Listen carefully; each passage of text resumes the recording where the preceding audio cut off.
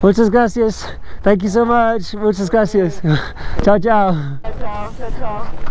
So I'll go past the pole and then I'll do a sharp turn down the hill.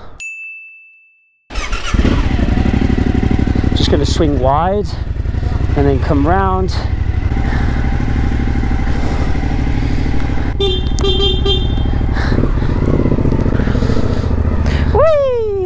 There we go. Hitting the road again. Hi, I'm Lavi. And I'm Ollie. And this is our hero, Bumblebee. Together, we are attempting a Guinness World Record to become the youngest pair to circumnavigate the globe By motorcycle. Join us for season 3 here in South America.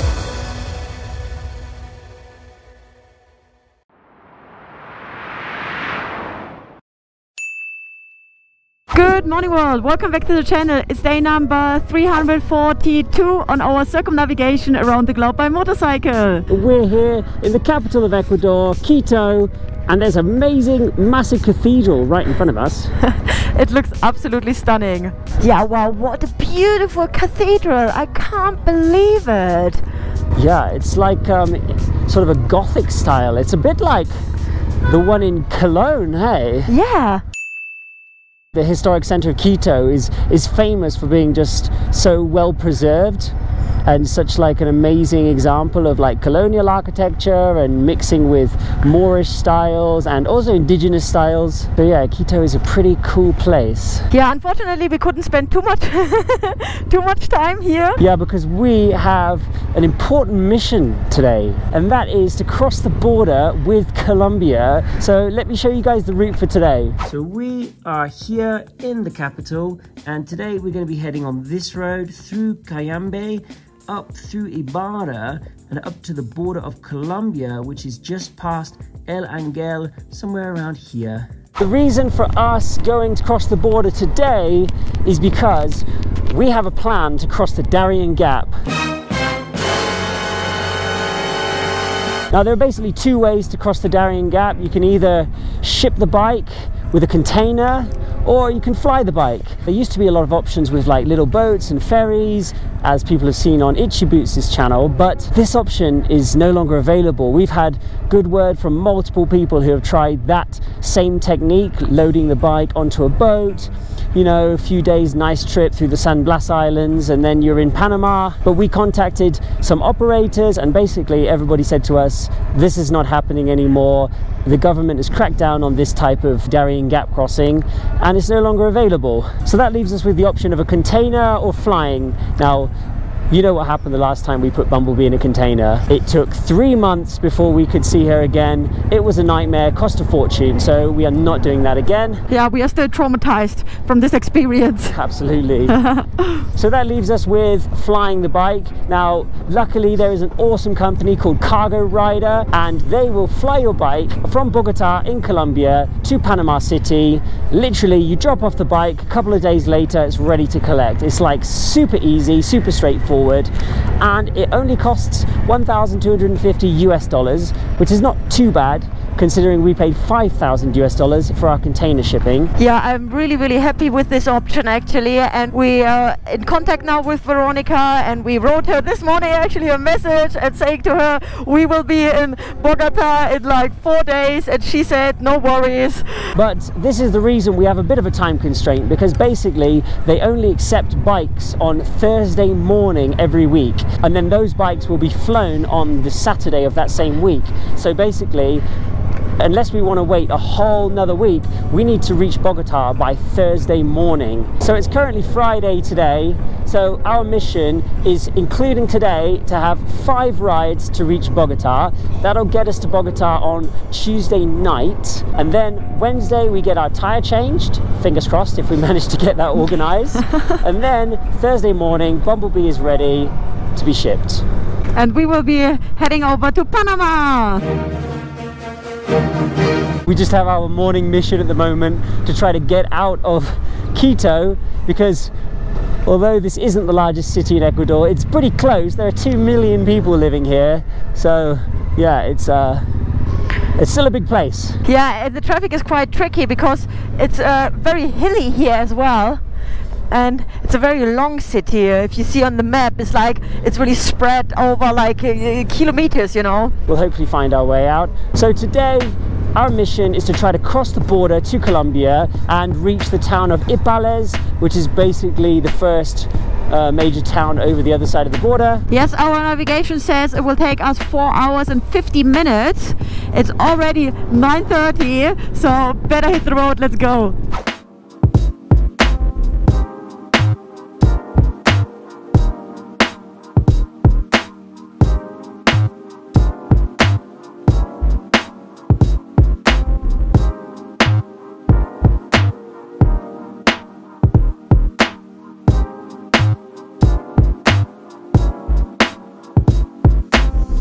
Oh yes, on our way out of the city. And wow, it looks like we were quite up high in Quito because now we're just descending down into this massive valley ahead. It's a beautiful day today, sunshine, 19 degrees. Can't complain. Yeah, it's like Ecuador started us off on a bad foot. Welcome to Ecuador!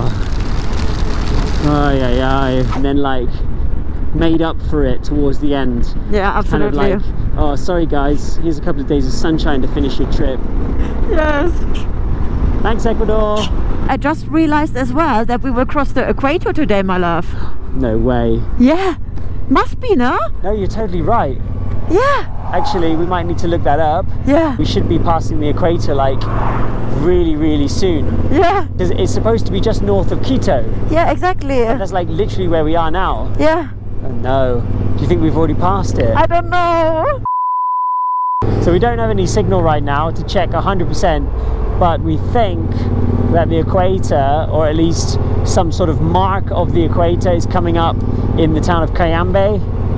So we're just going to continue on ahead and see if we can find it. I got some internet and I just found out that there's actually a solar uh, clock which we're gonna go now. And there apparently um, it's the zero zero latitude.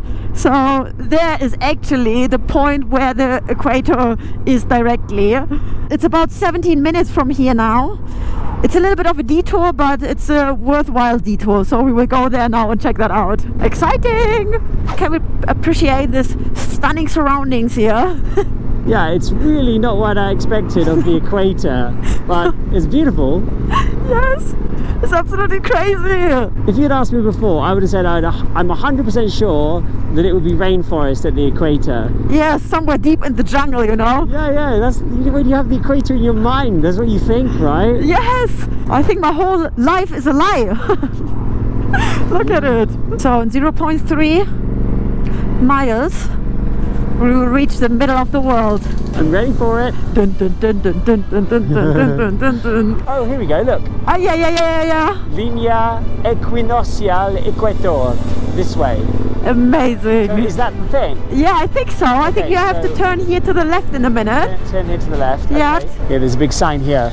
Bienvenidos la mitad del mundo. All right, yeah, let's go over to the sign. Woohoo! Amazing. When we adopted the name Ecuador, it was on 1830, on the 19th centuries. And so the name of the country, Ecuador, is just uh, because the equator is here. Yeah, exactly. Ecuador means equator, equator means Ecuador.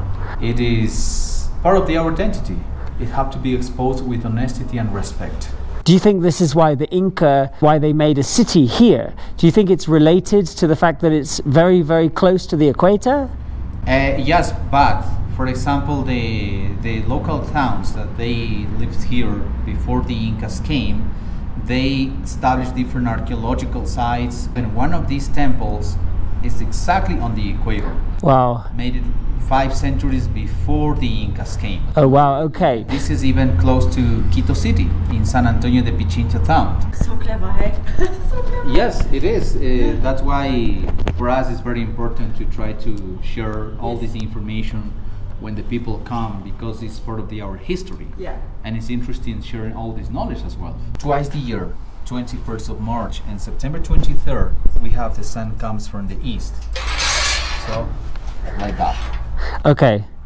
This little tooth is the same one as you can see there. The tower gives us a shot in the morning to the west straight along the equator.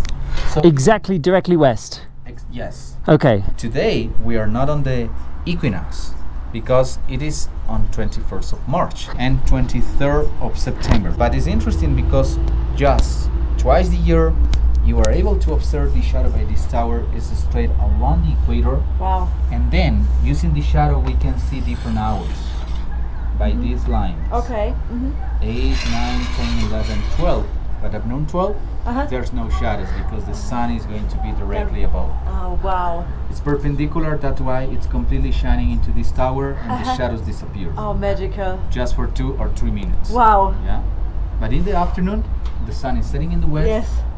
And the shadow goes to the other Okay. side. Give us 1, 2, 3, 4, 5 p.m. Yes. April, May, June, Yeah. we have the sun over the Tropic of Cancer. Yes. Mm-hmm. That's why it's summer for the north, Yeah. winter for the south. Uh-huh. The Tropic of Cancer line is over Cuba, Mexico, Saudi Arabia, a lot of countries. We rode through it in uh, Morocco. Morocco, yes, it is. After June, July, August, September, November, October, November, December, we have the sun over the Tropic of Capricorn. That's why it's summer for the south, winter for the north. You are in the northern hemisphere, Germany and Yes. United Kingdom. You are around or between latitudes 40, 50 degrees, 55 degrees. That's why for you, most part of the time, the sun is always to the south, Uh, like that. that's why everybody has their garden in England always facing the south. South. But in the southern hemisphere, opposite. Yes. And here you can't put your garden, you know, you have no. On both sides. Yeah. outside, Both sides. east, west, north, south. Yes. Yeah, yeah, yeah. Magical. That's interesting. If we place at North Pole, Ah, yeah. it's like six months dark, Yeah. or from the South Pole, it's months like six months dark. So here is equal days, equal nights Yes. all the year. Year round. All year. Yeah, it doesn't matter if we are on solstice or equinoxes, we can feel the same time. 12 hours for the day, 12 hours for the night. Wow. We have the sunrise 6 a.m. and set 6 p.m. That's why here there's no seasons. There's no seasons. It's a little bit boring, but is explaining also why this region is one of the most biodiversities, much more numbers of plants and animals. So the plants are developing photosynthesis 100% all year round. Wow. But in this moment, we are not still on the Yes. equator line Mhm. because it's there. Yes. We are here one second off in the south, which is equal 30 meters. If you want to prove, you can use the, the smartphones or smartwatches or GPSs to see the coordinate 00, one second south.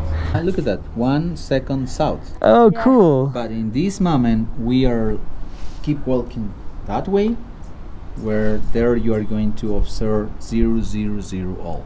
Ah. Cool. Okay. Let's do it. Let's make our way to the equator. That's why this is the most accurate spot in the history of Ecuador and also in all the way around. Most part of the monuments in the other places around are not exactly on the equator. Okay, they're just very close, but not exactly. It's- uh, But yes, this is like exactly the line. yes, here is the only and the unique place in the world where the people can find it zero degrees, zero minutes, zero seconds with one millimeter precision. Crazy. Look at You that. see? Zero, Zero, zero, zero, zero. Wow. Zero minutes, zero seconds, and that's the line. Look at this. Cayambe, latitude 000, Ecuador. Yes. Wow. After this line, it's southern hemisphere Okay. there and northern hemisphere. Wow. For us, this line is the line that it makes just one single word joins together.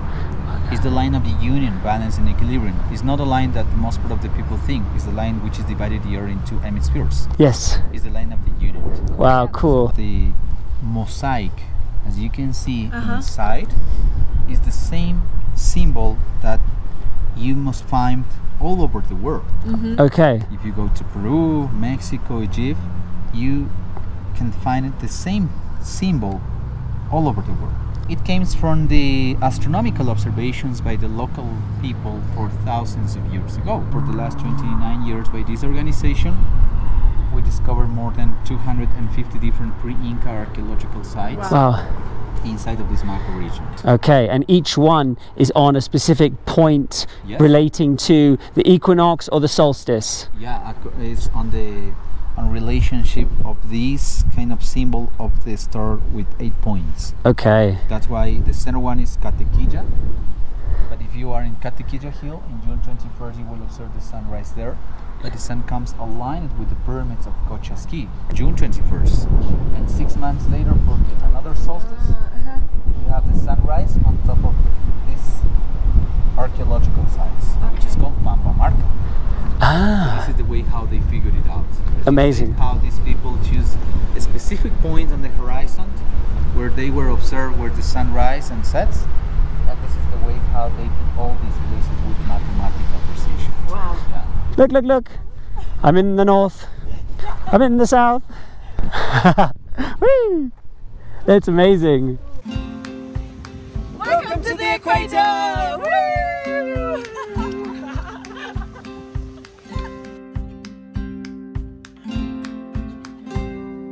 Different hemispheres joined by us. Yeah, this is some kind of goosebumps place. When the guide is explaining everything about the sun, it's just like magical, magical.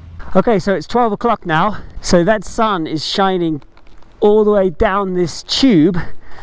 And if it was on the equinox, then this circle would be perfectly inside this circle here. You know, I get goosebumps. I nearly can cry because it's so. You don't really experience something like this anywhere in the world, just here. And whilst we're here in the middle of the world, I have another important announcement, and that is that we have just hit 22,000 miles on the road. Woo!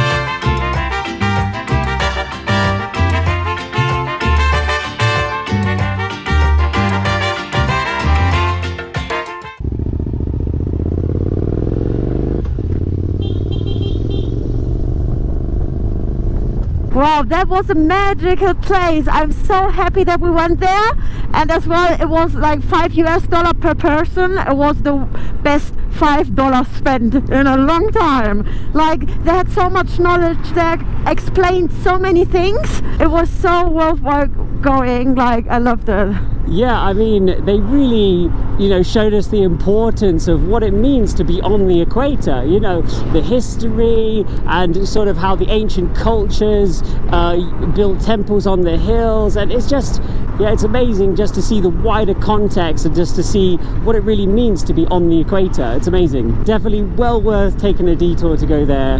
But now we have to make some distance. Oh yes, we are still heading to the Colombian border, and oh my God, it says now we will arrive there at like 4:20. So it doesn't give us a huge amount of time, but yeah, we have to push on now. Yeah, I mean, we've got probably by the time we arrive, we'll have only about two hours until sunset. So we are really pushing it, but yeah, I guess we just got to try and make some distance now. Yeah, let's hurry up.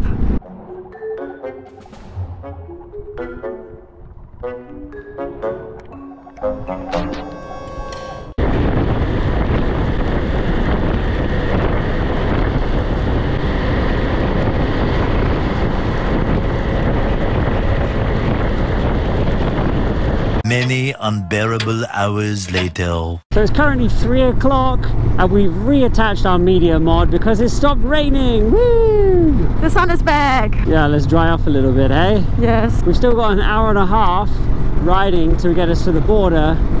Uh, at the moment, it's estimating that we'll get there at half past four.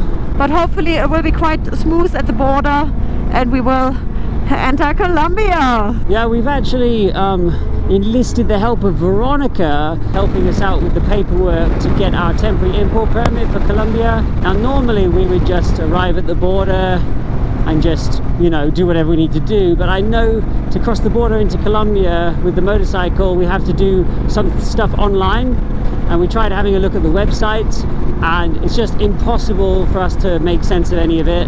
Yeah, everything was in Spanish and even the English translation, like we, we didn't really get what, what's going on there, so... So I think Veronica says she'll do all the paperwork for us and email it over.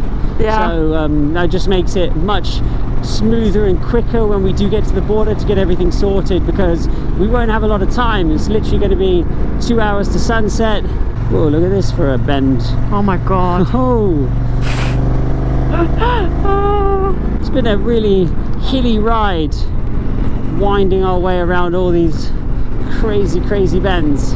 Yeah, you can't really go very fast here in Ecuador.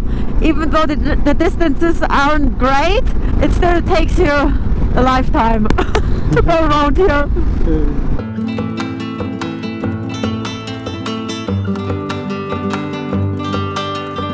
Oh, look at that. There we go. Gracias por visitar la República del Ecuador. Oh, do we have to do something here, my love? What do you mean? Look, look, migrations there. Or do we have to do something just here on this side?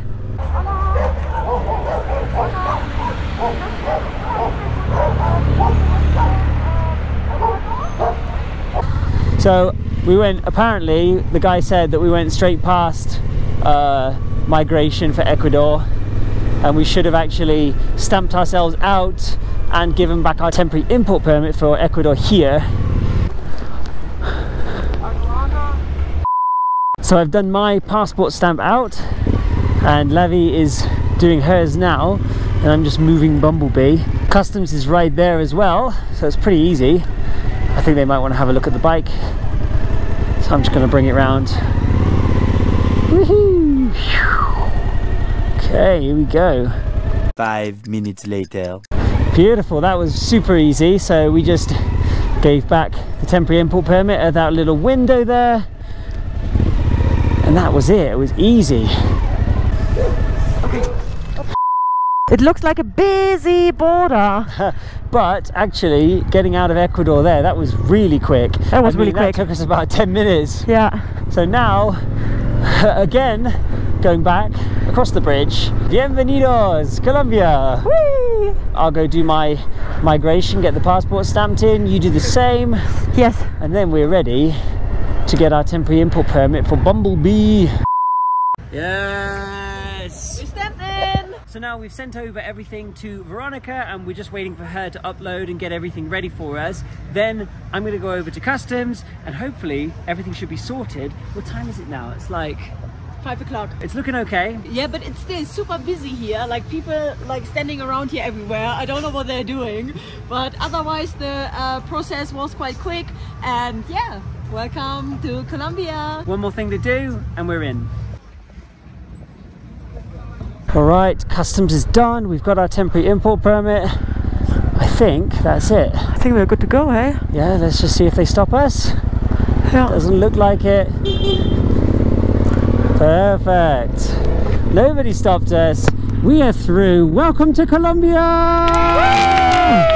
Ah, amazing. And it's not dark yet, which is amazing. It is currently 5.50, so we are very close to sunset, but luckily it's only a 10 minute ride to get to the town of Ipiales. And there we have an accommodation in mind, so we should be all gravy. Yes. Awesome. Mission complete.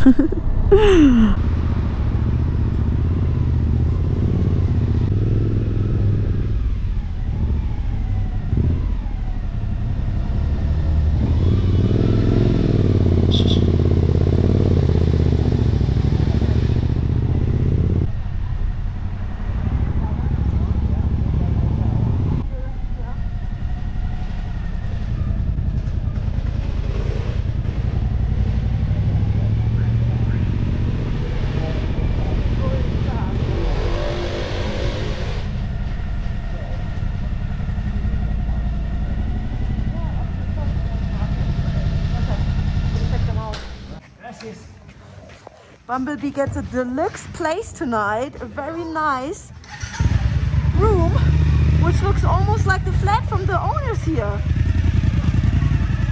I feel a little bit bad because I think Bumblebee's a little bit dirty, but muchas gracias. Muchas gracias. This is the owner, and the hotel looks really cool.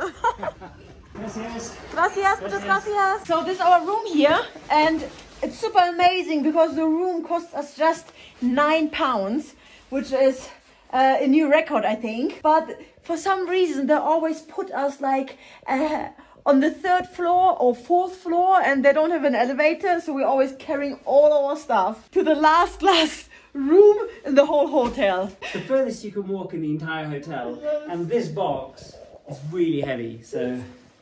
Jesus. We made it! Happy to alive! Whee! Yeah, so we're here in the square in the center of Ipiales. There's this really massive, cool church behind us as well. We made it to Colombia. We are here. Mission accomplished. I'm super happy to be here to discover a new country, to see something new is always super amazing. But our first priority is to find something to eat. So we're gonna have a look around the square and see what we can find. And that's it from us today. We hope you enjoyed the video. If so, please give us a thumbs up, subscribe to the channel, share the video with your friends and family, comment below, and we will see you next time. I think we've gone a little overboard. this is what riding all day does to you. You need a lot of pizza. That is massive. Look my hand. Whoa! Bon appetit!